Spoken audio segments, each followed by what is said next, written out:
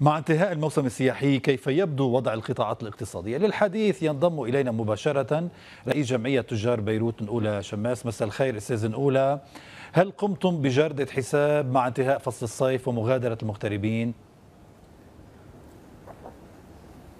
أستاذ فادي مساء النور لك وست منى أنا بدي أقول لك إنه نحن كهيئات اقتصادية وكقطاع خاص كنا معولين كثيرا على فصل الصيف من أجل يعني إذا جاز التعبير إنه نضرب فريم للانهيار الكبير.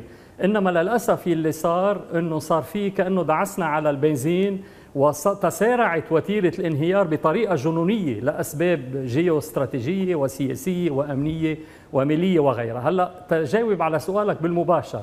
نحن كنا بالفعل مراهنين على الاغتراب اللبناني اللي ولا مرة يعني قصر بموضوع آه، عطاءاته للبلد إنه يفوت على لبنان بحدود المليارين ونص دولار خلال تموز وآب. وللاسف آه، في اللي شفناه إنه هالأمر ما تم لأنه صار في ضربة آه، ضربة قاضية تقريبا للموسم السياحي والتجاري بشكل فجائي وعنيف. ومن الناحية الكمية أنا بدي أقول لك إنه كقطاع تجاري فتنا 50% من المحلات التجارية مقفلة بلبنان وأنا بدي بقدر أكد لك اليوم إذا كفينا على هالمنوال ال 50% الباقيين 10% منهم بسكروا من هون لنهاية السنة 20% بيتعثروا بطريقة أو بأخرى وبيبقى فقط 20% على قيد الحياة. يعني اللي عم نقوله إنه القطاع التجاري عمليا بده يكون واقف على إصبعين من إجر وحدة. إنما الأخطر من هيك من الناحية النوعية أستاذ فادي إنه بالأشهر الماضية شهدنا ظاهرة توسع الاقتصاد الأسود وغير الشرعي في لبنان من آه، خلال التهريب والتخزين والمتاجرة اللي للأسف انخرط فيها عدد كبير من اللبنانيين. وبالتوازي تراجع الاقتصاد الشرعي والمشروع يلي نحن بقينا 100 سنة مشان تنبنيه ونوصل لهون. فاذا نعم. نمنا وقمنا على اقتصاد ما بقى بيشبهنا بشيء أستاذ فادي. طيب آه، أستاذ شماس ما هي أبرز التحديات التي ستواجه القطاعات الاقتصادية في حال عدم تشكيل الحكومة؟ آه هيدي هيدا سؤال جوهري لأنه اليوم الأمن القومي مهدد من بابه الاقتصادي والاجتماعي.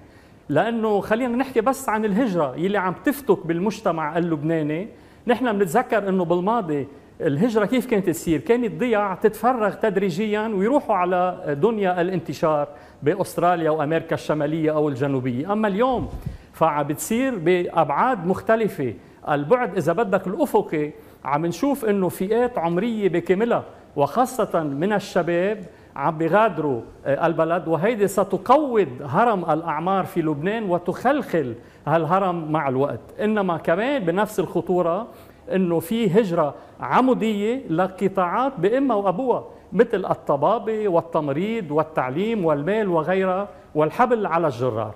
هلأ التحدي المباشر هو إنه كيف بدنا نقطع نحن شهر أيلول؟